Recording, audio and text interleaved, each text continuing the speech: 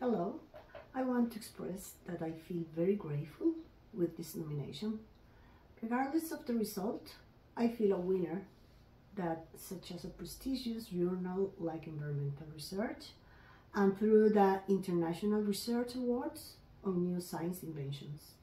Recognize the scientific work that many times can go invisible in the social ambit. I am a researcher who cares about the environment.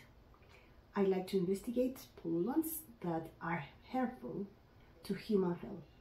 I feel especially interested in child health and pregnant mothers. The investigation must be in order to improve the quality of life of people.